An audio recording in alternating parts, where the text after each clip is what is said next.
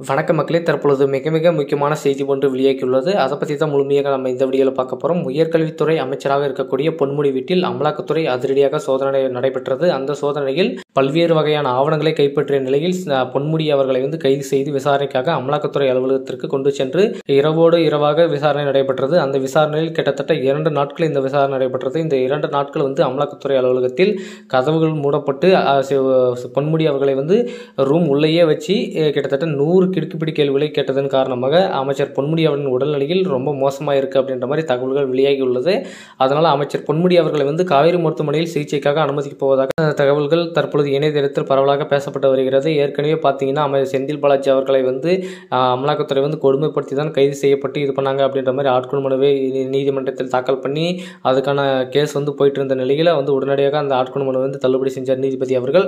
தற்பொழுது பொன்முடி அவர்களையும் அமலாக்கத்துறை அப்படி தான் விசாரிச்சிருக்காங்க. அந்த விசாரணையில் பல்வேறு ஆவணங்கள் கைப்பற்றியிருந்த நிலையில் அது மட்டும் இல்லாமல் வெளிநாட்டு கரன்சிகளும் கைப்பற்றியிருக்காங்க. வெளிநாட்டில் வந்து வெளிநாடுகளில் பொன்முடி அவர்கள் நிறுவனம் வாங்கியதற்காக எந்த ஒரு ஆதாரமும் இல்லை. அந்த நிறுவனங்களை குறைந்த விலையில் வாங்கி அதிக விலைக்கு விட்டுறதுக்கான எந்த ஒரு ஆதாரமும் இல்லை அப்படின்ற ஒரு காரணங்களை வந்து முன்வைத்திருக்காங்க அமலாக்கத்துறை. ஸோ அதற்கான நீங்கள் முழுமையான ஆதாரங்களை நீங்கள் ஆவணங்களையும் நீங்கள் வந்து அமலாக்கத்துறையிடம் வந்து சமர்ப்பிக்க வேண்டும் அப்படின்ற மாதிரி தற்பொழுது பொன்முடி அவர்களை வந்து அறிவித்துள்ளதாக தகவல் வெளியாகியுள்ளது. பொன்முடி அவர்கள் விசாரணை முடிந்து வீடு திரும்பிய நிலை நிலையில் தற்பொழுது அவருடைய உடல்நிலையில் ரொம்ப மோசமாக இருக்கிறது. அவரை வந்து மருத்துவமனையில் அனுமதித்து அவருக்கு சிகிச்சை அளிக்க வேண்டும் அப்படின்ற மாதிரி தற்பொழுது வெளியான நிலையில் தான் அமைச்சர் பொன்முடி அவர்கள் வந்து உரிய ஆவணங்களுடன் மீண்டும் வந்து அமலாக்கத்துறையிடம் வந்து ஆஜராக வேண்டும் அப்படின்ற மாதிரி பொன்முடி அவர்களுக்கு வந்து சம்மன் அனுப்பியதாகவும் தகவல் வெளியாகியுள்ளது. ஒருவேளை நிரூபிக்காவிட்டால் கண்டிப்பாக அனைத்து சொத்துக்களும் அரசுடைமையாக்கப்படும் அப்படின்ற மாதிரி தான் அமலாக்கத்துறை வந்து தற்பொழுது அஹ், பொன்முடி அவர்களுக்கு வந்து சொல்லியிருக்காங்க. அடுத்தது என்ன பண்ணப்பாரு பொன்முடி அமைச்சர் அவர்கள்? அது மட்டும் இல்லாமல் பொன்முடி அவர்கள் தற்பொழுது ரகசியமாக முதல் ஸ்டாலினை சந்தித்து பேசியுள்ளார்.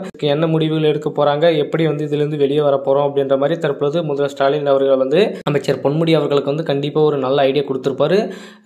இப்போ வந்து திமுக ஆட்சியில் வந்து ஊழல் ஆட்சியாக போய் கொண்டிருக்கும் நிலையில் இது குறித்து சவுக்கு சங்கர் அவர்கள் எவ்வளவோ பேசிட்டாரு. ஆனால் இந்த ஊழல் ஆட்சி எப்போ ஊழல் வந்து குறையும் திமுகவில் அப்படின்ற மாதிரி தான் தற்பொழுது கேள்விக்குறி வந்துட்டு வந்திருக்கு. பொதுமக்களிடையும் சரி அனை அரசியல் வட்டாரத்திலும் சரி தற்பொழுது திமுகவின் ஆட்சியை பற்றி வந்து மிகவும் அடிமட்டத்திற்கு பேசிக் கொண்டிருக்கிறார்கள். இதுக்கு என்ன தீர்வுகள் கிடைக்க போகுது? ஸ்டாலின் அவர்கள் என்ன பண்ண போறாரு? இதுக்கெல்லாம் வந்து சவுக்கு சங்கர் அவர்கள் வந்து தரமான பதிலடி வந்து திமுகவிற்கு கொடுத்து கொண்டு வருகிறார். இது இது குறித்து உங்களுடைய கருத்துக்களை வந்து கமெண்ட் வாயிலாக கூறுங்கள் மக்களே.